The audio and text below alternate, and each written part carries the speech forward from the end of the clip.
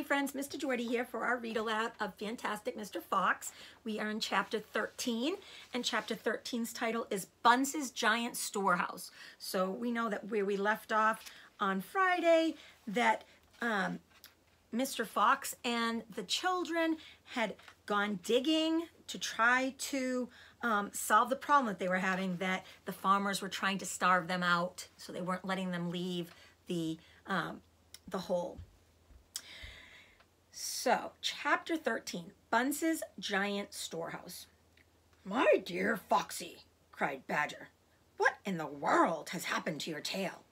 Don't talk about it, please, said Mr. Fox. It is a painful subject. They were digging the new tunnel. They dug on in silence. Badger was a great digger, and the tunnel went forward at a terrific pace now that he was lending a paw. Soon they were crouched underneath yet another wooden floor. Mr. Fox grinned slyly, showing sharp white teeth. If I'm not mistaken, my dear Badger, he said, we are now underneath the farm which belongs to the nasty little pot-bellied dwarf Bunce.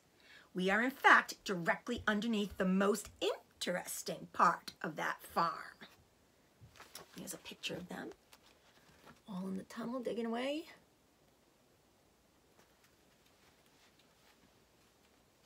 Ducks and geese, cried the small foxes, licking their lips. Juicy, tender ducks and big fat geese. Exactly, said Mr. Fox. But how in the world are we to know where we are? asked Badger. Mr. Fox grinned again, showing even more white teeth. Look, he said, I know my way around these farms blindfolded. For me, it's just as easy below ground as it is above it. He reached high and pushed up one wooden floorboard, then another. He poked his head through the gap. Yes, he shouted, jumping up into the room above. I've done it again.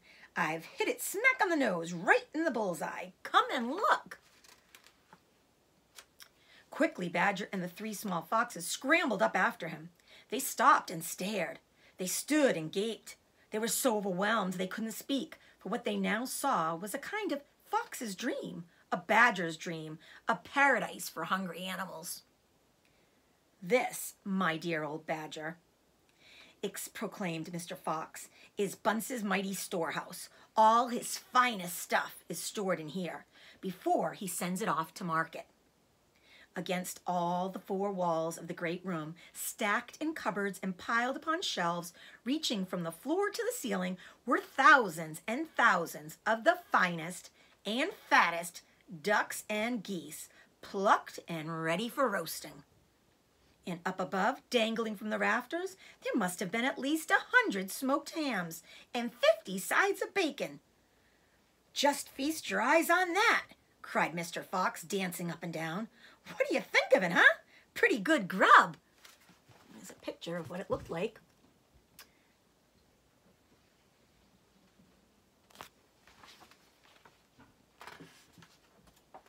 Suddenly, as though springs had been released in their legs, the three small, hungry foxes and the ravenously hungry badger sprang forward to grab the luscious food. Stop, ordered Mr. Fox. This is my party, so I shall do the choosing.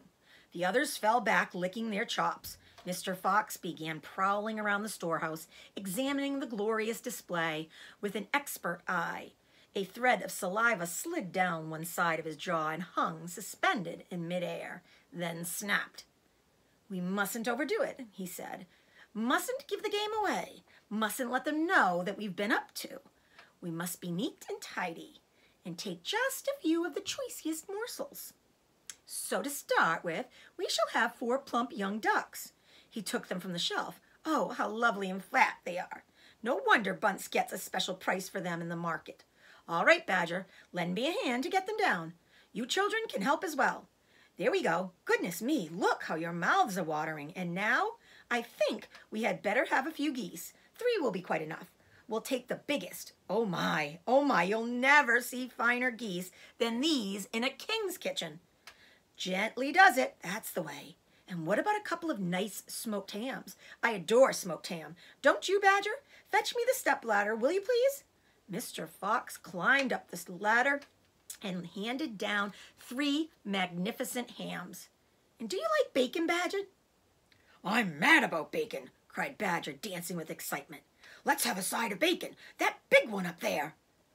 And carrots, father, said the smallest of the three small foxes. We must take some of those carrots. Don't be silly, said Mr. Fox. You know we never eat things like that. It's not for us, Dad. It's for the rabbits. They only eat vegetables. My goodness me, you're right, cried Mr. Fox. What a thoughtful little fellow you are. Take ten bunches of carrots. And there's handing him, he's Mr. Fox handing them down to Badger.